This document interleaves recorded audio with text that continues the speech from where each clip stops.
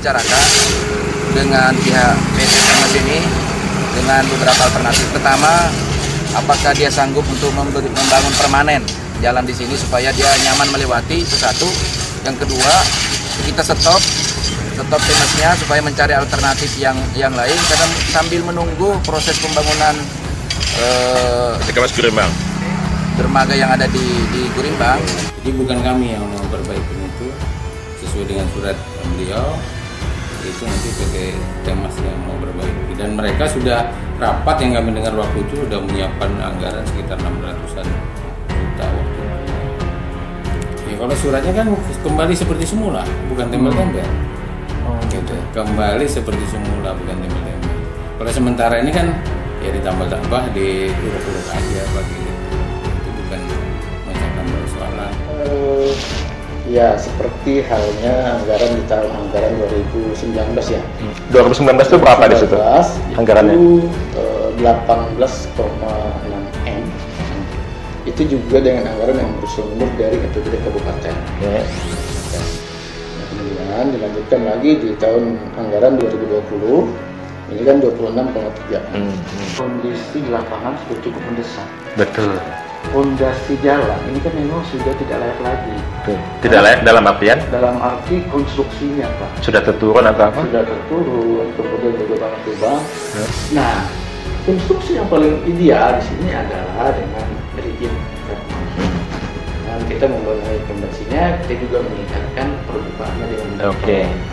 Dengan anggaran yang besar, kalau kita berharap ke swasta, kapan kita di Kabupaten Berau terus Jalan Haji Isa 3 menikmati Bisa selesai? bagus Bisa selesai. Iya. pasti jadi masalah Masyarakat pun akan selalu protes. Pemerintah Kabupaten Berau melalui Facebook resminya sudah mengumumkan bahwa tahun 2020 ini Jalan Haji Isa 3 akan diperbaiki dengan anggaran 26 miliar. Dengan kondisi begitu artinya bahwa perbaikan Jalan Haji Isa 3 akhirnya menggunakan APBD Berau juga. Lalu seperti apa tanggapan DPRD Berau melihat APBD Berau akhirnya dipakai untuk perbaikan Jalan Haji Isa 3 dengan kaitannya dengan komitmen perusahaan peti kemas Temas yang ketika diizinkan untuk menggunakan jalan itu berkomitmen untuk memperbaiki jalan. Saudara, saksikan liputannya.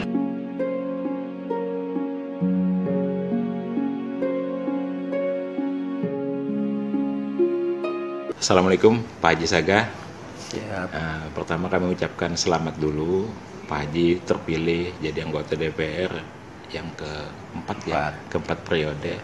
Artinya masyarakat di Dapil 3 memang sangat mempercayai Haji dan mengamanahkan suara mereka kepada Haji. Semoga Haji bisa terus amanah dan bisa menjadi anggota DPR yang sesuai harapan masyarakat. amin Dan Alhamdulillah di periode ini Pak Haji memimpin Ketua Komisi 3 Ji ya. siap. Nah kaitannya dengan jabatan haji selaku Komisi 3 kami mau tanya kaitannya dengan tugas dan fungsi DPR dalam hal pengawasan dan budgeting atau anggaran.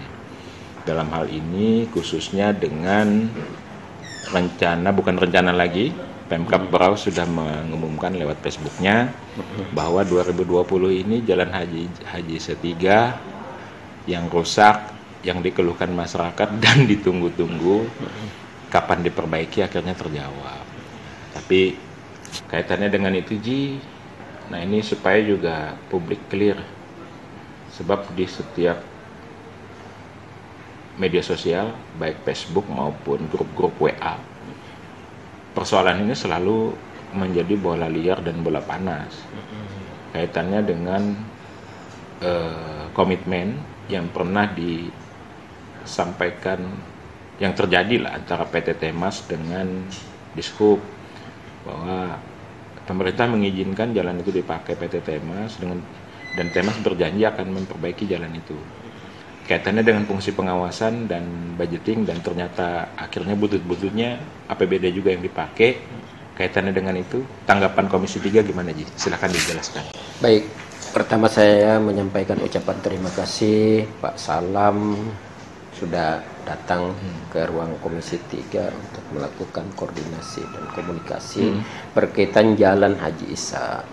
Dan kedua saya menyampaikan terima kasih atas spot dari Pak Salam. Saya sudah terpilih menjadi anggota DPRD yang keempat kali dan mudah-mudahan apa yang menjadi ah, harapan Pak Salam selaku anggota DPRD bisa lebih amanah dan bisa menjalankan tupoksinya selaku anggota DPR untuk memperjuangkan aspirasi masyarakat ya. Nah terkait dengan apa yang disampaikan tadi itu tanggapan saya yang dipercayai oleh teman-teman anggota Komisi 3 yang berjumlah 10 orang termasuk saya 9 anggota. Saya ditunjuk sebagai ketua Komisi 3 nah berkaitan dengan hal yang disampaikan terkait dengan jalan Haji Isa itu di periode 2019 sudah kita lakukan pengawasan pada waktu saat itu saya menjadi unsur pimpinan sebagai wakil ketua satu ya. kemudian saya selaku koordinator di Komisi 3 dan kita sudah lakukan beberapa kali rapat-rapat, hearing, dengar pendapat dengan beberapa instansi termasuk Temas dan Pelindo. Ya.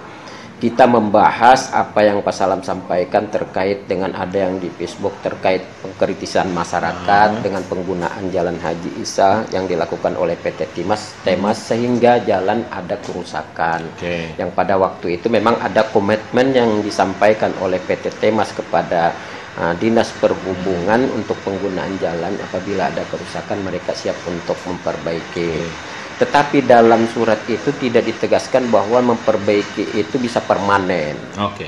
ya bisa permanen. Jadi saya anggap pada waktu itu permasalahan ini sudah clear dari hasil evaluasi dan pengawasan kita tidak bisa juga kita membebankan sepun- sepenuhnya kepada PT Temas ya apalagi eh, Anggarannya. anggarannya sangat terbatas Oke. dan aktivitas yang dilakukan oleh PT Temas ini juga berkaitan dengan Kelancaran kepentingan ekonomi. masyarakat Seluruh. untuk kepentingan ekonomi masyarakat Kabupaten Berau ya itu nah dan kedua kita juga selaku pemerintah itu belum pernah bisa menyiapkan salah satu untuk bagaimana penampungan kontainer Hmm.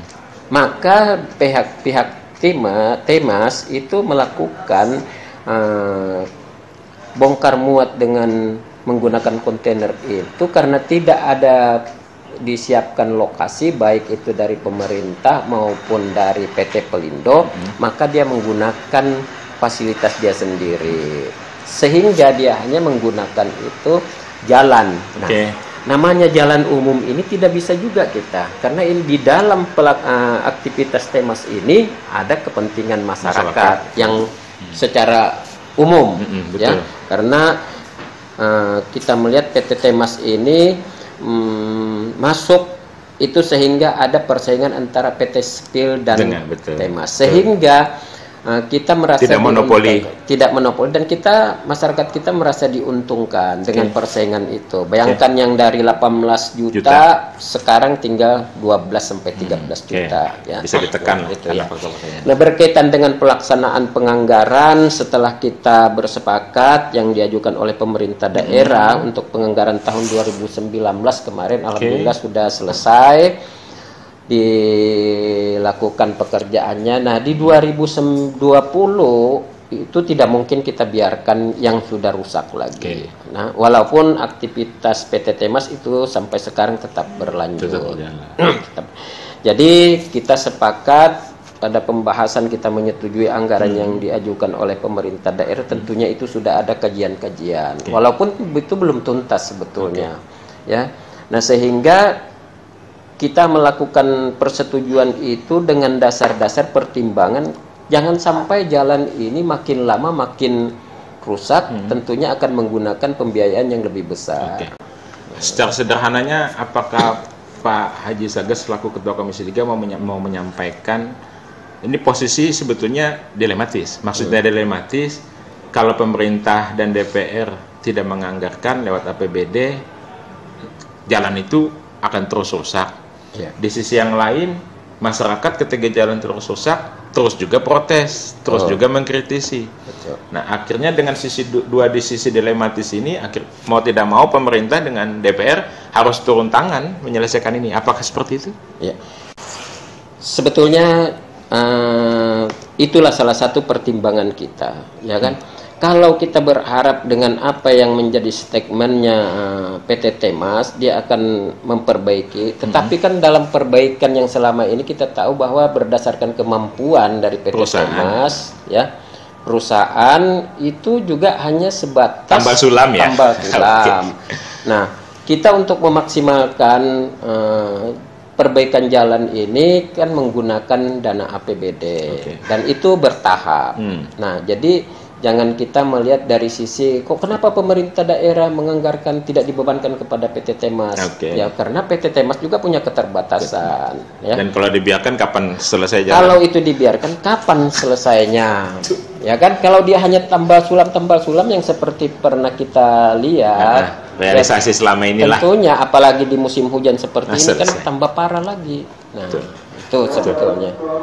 Jadi mau tidak mau memang pemerintah dan DPR harus tangan ya. Suka tidak suka untuk penganggaran ya kami dari DPRD itu harus menyetujui karena tentunya dari pengajuan anggaran yang uh, disampaikan oleh pemerintah daerah itu sudah ada kajian-kajian. Oke, dan memang ini untuk kepentingan masyarakat banyak juga ya. Ya, terlebih-lebih itu salah satu pertimbangan kita. Oke. Ya, karena kita melihat juga anggaran kita dengan hanya 20 sekian miliar itu 26. t- tidak menguras dan mengurangi uh, untuk pekerjaan kepentingan-kepentingan lain. Jadi masih berjalan, yang lain juga jalan, yang perbaikan jalan Haji Satiga juga jalan. Oke, siap. Artinya memang ini semata-mata pertimbangannya adalah untuk kepentingan masyarakat semua ya.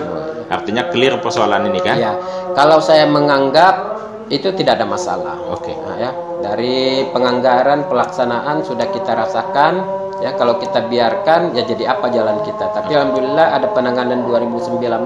Alhamdulillah lalu lintas masyarakat di sana sudah cukup baik, walaupun itu baru sebelah. Baru Nah, kita sebelah. berharap ke depannya itu supaya lebih tuntas sebenarnya. Artinya nanti pasti jalannya juga direjit beton kan? Iya, Karena pasti Temas lewat situ lagi. Iya, makanya dan mungkin kita setelah ada perbaikan paling tidak mungkin Dinas Perhubungan sudah melakukan pembatasan-pembatasan terkait daya angkut dari Betul, eh, kelas jalan. perusahaan. Oke, terima kasih. Oke. Itu aja, Ji. Ya. Terima kasih banyak.